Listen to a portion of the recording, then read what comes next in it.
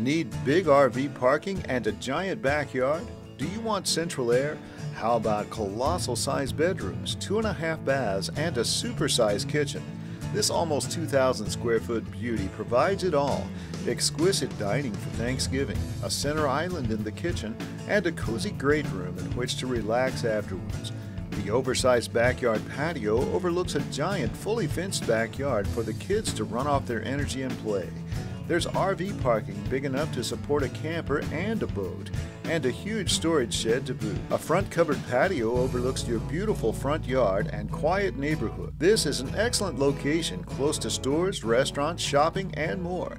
Call Cindy Ficklin for full details and a tour.